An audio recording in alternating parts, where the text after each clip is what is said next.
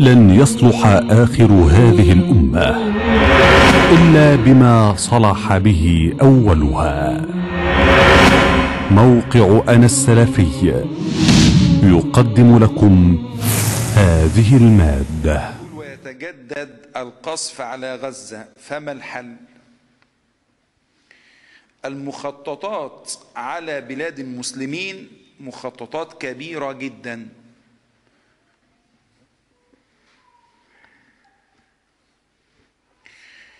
وما يتعلق بفلسطين ما يسمى بصفقة القرن.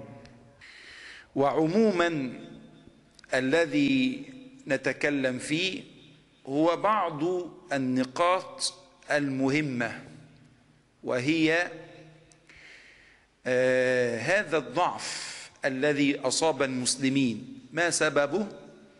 قال الله عز وجل قل هو من عند أنفسكم. إذا العلاج أن نرجع إلى أنفسنا أفرادا وشعوبا وحكاما.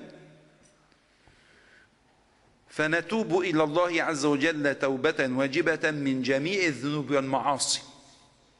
ونتوب إلى الله عز وجل توبة مستحبة من التقصير والتفريط في حق الله سبحانه وتعالى. هذا عموما فانظر لحديث ابن عمر رضي الله عنهما الذي يقول فيه صلى الله عليه وسلم يا معشر المهاجرين خمس خصال أعوذ بالله أن تدركونهن. خمس خصال. هذه عقوبة عامة إذا ظهرت وانتشرت. ما ظهرت الفاحشة في قوم قد ظهرت يعني عمت وانتشرت. الفاحشة الزنا واللواط والسحاق. ما ظهرت الفاحشة في قوم قط حتى يعلنوا بها. إلا فشى فيهم الأمراض والطواعين التي لم تكن في أسلافهم الذين مضوا. وما نقص قوم المكيال وما نقص قوم الوزن وما نقص قوم المكيال يعني المكيال والوزن إلا ابتلوا بالسنين الجدب كلهم وشدة المؤونة شدة المعيشة وجور السلطان. وما نقص قوم زكاة أموالهم إلا منع القطر من السماء فلولا البهائم لم يمطروا. وما خفر قوم عهد الله وعهد رسوله إلا جعل بأسهم بينهم. العهد هنا المقصود بالدين. يعني ما نقض الناس العهد الذي بينهم وبين ربهم سبحانه وتعالى إلا وجعل بأسهم بينهم. وما لم تعمل أئمتهم بما أنزل الله في كتابه الأولى الأولى وما خفر قوم العهد عهد الله وعهد رسوله إلا سلط الله عليهم عدوا أخذ بعض ما في أيديهم. إذا تسليط العدو ما سببه؟ أن الناس ينقضون عهد الله. هذا هو سببه. ينقضون عهد الله وعهد الله هو دينه. ولو نظرت في البلاد التي أصابها ما أصابها وبحثت في ذنوبهم ستجد ذنوبا عظيمة. في هذه الدول عياذا بالله كان منتشرا سب الله وليس سب الدين سب الله. فيكون هذا من العقوبة التي يعاقبهم الله عز وجل بها مع أنهم مسلمون. والمسلط عليهم كافرون. لكن هذا تسليط كما قال الله عز وجل وقضى وقضينا إلى بني إسرائيل في الكتاب لتفسدن في الأرض مرتين ولتعلن علوا كبيرا فإذا جاء وعد أولاهما بعثنا عليكم عبادا لنا أولي بأس شديد فجاسوا خلال الديار وكان وعدا مفعولا. سلط الله على بني إسرائيل من؟ سلط عليهم كفارا. وبنو إسرائيل كانوا مسلمين. كانوا يعبدون الله وحده لا شريك له. لما ظهر فيهم المعصية وظهر فيهم الطغيان سلط الله عليهم عدوا من غيرهم فقتل رجالهم وجاسوا خلال الديار. بل والوعد الثاني وجعلوا بيت المقدس خاو على عروشه. وشرد بنو إسرائيل في الأرض هذه عقوبة. تأديب من الله عز وجل لعباده لأنهم عصوا ربهم عز وجل. إذا لا بد أن نبحث عن السبب ونبحث عن العلاج الحقيقي. نبحث عن العلاج الحقيقي بحيث إحنا نعرف الداء ونقول ما الدواء. وما لم تعمل أئمتهم أي حكامهم بما أنزل الله في كتابه إلا جعل بأسهم بينهم. البأس ليس على العدو. إنما البأس على بعضهم البعض. وفي روايات إلا فشى فيهم الفقر. اذا الذنوب والمعاصي. إن تاب العباد لربهم سبحانه وتعالى توبة بشروطها صادقة نصوحا تاب الله عليهم وغير الله أحوالهم. إن الله لا يغير ما بقوم حتى يغيروا ما بأنفسهم. صليب الصلابوت. الذي كان يزعم الذي يزعم النصارى أن المسيح عليه السلام صلب عليه وكان بأيدي الحروب الصليبية. الصليبيين عندما أتوا بلاد المسلمين وضعوه فوق قب مسجد قبة الصخرة كم سنة؟ واحد وتسعين سنة. واحد وتسعين سنة الصليب فوق قبة الصخرة والمسلمون مستضعفون لا يستطيعون أن يفعلوا شيئا. بل لما جاءت الأنباء إلى مساجد المسلمين ظل المسلمون في مساجدهم يبكون. ثم لما رجعوا لربهم عز وجل هيأ الله للمسلمين. دولة آل زنكي وآل أيوب. ورجع بيت المقدس إلى المسلمين. وطهر من دنس الصليبيين. بعد كم سنة؟ بعد واحد وتسعين سنة. بعد واحد وتسعين سنة. انظر لهذه المدة بعد واحد وتسعين سنة. اليهود محتلين فلسطين. كام سنة؟ قول ستين سنة. قول حاجة وستين سنة. ما وصلوش لواحد وتسعين سنة. الصليب كان مرفوع في قبة الصخرة واحد وتسعين سنة. ولما رجع المسلمون إلى ربهم سبحانه وتعالى بدل الله عز وجل أحوالهم. إن الله لا يغير ما بقوم. حتى يغيروا ما بأنفسهم. فإن غير المسلمون أحوالهم وتابوا لربهم عز وجل تاب الله عليهم. الأمر بيد الله سبحانه وتعالى. ظهر الفساد في البر والبحر بما كسبت أيدي الناس ليذيقهم بعض الذي عملوا لعلهم يرجعون. لعله هذا من رحمة الله سبحانه وتعالى. إذا ده السبب الأول. هذا هو السبب الأول. وهذا يحتاج إلى تذكير وإلى دعوة إلى الله سبحانه وتعالى. تذكير ودعوة إلى الله سبحانه وتعالى. هناك بعض الناس بيتخذ الاتجاه الثوري الصدامي العنيف أو سقوط الدول من داخلها والأنظمة من داخلها. يظن بذلك أنه يصلح. وما هو في الحقيقة إلا لبنة في المخطط العالمي لاحتلال بلاد المسلمين وتقسيم بلاد المسلمين. والضغوط عظيمة جدا على مصر والسعودية خصوصا. ضغوط عظيمة جدا. ويتكلمون عن أن السعودية عليها الدور في التقسيم والتخطيط. ويظن من يتكلم أنه بذلك ينصر قضية. لا. وهذا الكلام يصب في صالح الأعداء وليس في صالح المسلمين. قد يوجد ظلم قد يوجد فساد لكن لا ينهى عن ظلم بأظلم منه ولا عن فساد بأفسد منه. وإنما ينبغي أن تصلح وأن تتكلم بالكلام الطيب. فهذا هو الذي ينبغي ينبغي تذكير المسلمين بالتوبة والرجوع لله سبحانه وتعالى. والتوبة الصادقة المخلصة الصالحة؟ هذا ما ينبغي أن نذكر به. وأيضا ينبغي أن نبشر أسلوب الإماتة النفسية والهزيمة النفسية ليس بسبيل رسول الله صلى الله عليه وسلم ولا بطريقة القرآن ولا بطريقة القرآن. إنما الرسول صلى الله عليه وسلم أمره الله أن وقال وبشر المؤمنين. وكان صلى الله عليه وسلم في أحلك المواقف يبشر.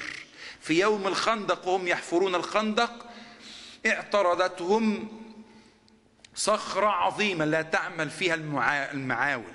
فنزل رسول الله صلى الله عليه وسلم وأمسك بالمعول وقال بسم الله الله أكبر انفلق ثلثها. قال أعطيت مفاتيح الشام. إني لأرى قصورها الحمر من موقعي من موقفي هذا. ثم ضرب ضربة ثانية قال الله أكبر أعطيت مفاتيح فارس. إني لأرى قصرها الأبيض اللي هو قصر اللي هو قصر كسرى من مكان هذا. وقال الله أكبر ضربة الثالثة انفلقت الصخرة. قال الله أكبر أعطيت مفاتيح اليمن. إني لأنظر إلى, لأنظر إلى أبواب صنعاء من, من, من مكان هذا. صلى الله عليه وسلم. فكان يبشر صلوات الله وسلامه عليه. التبشير هو الذي يحيي النفوس. ونعوذ بالله من حالة الإحباط. واحد يقول لك أنا محبط. الكلمة دي كلمة غلط شرعا. الكلمة دي غلط شرعا. المؤمن عنده حسن ظن بالله. مهما ادلهمت عنده الخطوب سيجعل الله لها منه له منها مخرجا. ومن يتقي الله يجعل له مخرجا. ويرزقه من حيث لا يحتسب. المؤمن في طريق الأمر لله ليس لنا. التمكين بيد الله ليس لنا. يمكن الله عز وجل لمن يشاء وقت ما يشاء. سبحانه وتعالى. وليس ولسنا مأمورين بالتمكين. نحن مأمورون أن نعبد الله وأن نسير في طريق النبي صلى الله عليه وسلم. الذي تركنا عليه. هذا ما أمرنا به شرعا. فنسير في هذا الطريق. ونحن عندنا حسن ظن بالله وأمل عظيم في فرج الله سبحانه وتعالى عز وجل. والله سبحانه وتعالى لا يضيع عباده المحسنين. فنسير في هذا الطريق ونحن موقنون بنصر الله وأن هذا الدين ظاهر ومنصور. يقول الله سبحانه وتعالى يريدون أن يطفئوا نور الله بأفواههم. ويأبى الله إلا أن يتم نوره. ولو كره الكافرون. هذه المحاولات التي نراها انظر لقول الله سبحانه وتعالى يريدون أن يطفئوا نور الله بأفواههم. عامل زي الواقف قدام ضوء الشمس وعمال ينفخ فيه. عايز يطفئ نور الشمس. ممكن يطفئ نور الشمس؟ هذا أحمق هذا سفيه. لا يمكن أن يطفئ نور الشمس بنفخه هذا. ويأبى الله إلا أن يتم نوره ولو كره الكافرون. هو الذي أرسل رسوله بالهدى ودين الحق ليظهره يعني ليعليه على الدين كله ولو كره المشركون ولو كره المشركون. فكل دي محاولات يائسة ولا يرجعون منها إلا بالحسرة والخيبة. إن الذين كفروا ينفقون أموالهم ليصدوا عن سبيل الله. فسينفقونها ثم تكون عليهم حسرة. ثم يغلبون والذين كفروا إلى جهنم يحشرون. نعوذ بالله. الأعشى في معلقته وصف وعلا أحمق. هذا الوعل بينطح في الصخر عايز يكسر الصخر. فبيقول إيه؟ وناطح وناطح صخرة وناطح يوما وناطح يوما صخرة ليوهنها. فلم يضرها وأوهى قرنه الوعل. هو عمال ينطح في الصخرة. ضرها في حاجة؟ هو اللي إيه؟ ضر نفسه. هو اللي اوهى إيه؟ القرن بتاعه. الإسلام ده حصن عظيم. جبل أشم. لا يمكن ابدا أن ينال منه أحد. دين تولى الله حفظه ونصره. وهذا الدين ظاهر ومنصور. وإنما الأمر كله هو تأديب من الله لعباده لما عصوا. فإن تابوا وأنابوا لربهم عز وجل غير الله أحوالهم وبدلها إلى ما يحب ويرضى. وهذا والله ليس ببعيد. هذا ليس ببعيد. عندنا حسن ظن بالله عز وجل ونحن عباد الله أمرنا بيده. لا نملك لأنفسنا شيئا. يفعل الله ما يريد. ونحن مع العبادة مع العبادة ندور حيث دارت. ما حيث دارت؟ سراء شكرنا ضراء صبرنا. وهذا أمر المؤمن الذي يتعجب منه النبي صلى الله عليه وسلم. فإن فعلنا ذلك وتبنا ورجعنا إلى الله سبحانه وتعالى بدل الله احوالنا والأمر الأخير الحذر من الفرق التي تنتسب للإسلام وهي فرق هدامه وهي فرق مبتدعة.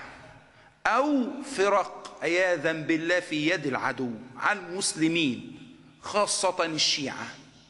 الشيعه خنجر مسموم في ظهر أهل السنة في ظهر بلاد المسلمين. هم يد العدو الذي استخدمها في العراق وفي سوريا وما زال يستخدمها في اليمن ويستخدمها في غزة. ولن يكون نصر بوجود هؤلاء الناس ابدا. لذلك النصر بالتزام مذهب أهل السنة والجماعة. سلفنا الصالحون.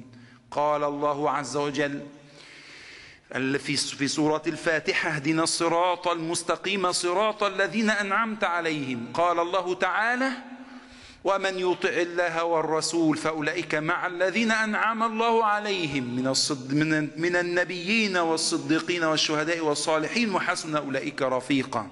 وقال سبحانه وتعالى وإذا قيل لهم آمنوا كما آمن الناس قالوا أنؤمن كما آمن السفهاء؟ ألا إنهم هم السفهاء ولكن لا يعلمون. بإجماع المفسرين أن المقصود بالناس هن هنا هم الصحابة. وإذا قيل لهم آمنوا كما إيه؟ آمن الناس اللي هم مين؟ الصحابة. فإن آمنوا مثل ما آمنتم به فقد اهتدوا.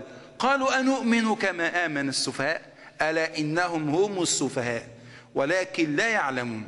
كيف نرجو نصرا ممن يسب عائشة رضي الله عنها وحفصة ويسب أبا بكر وعمر؟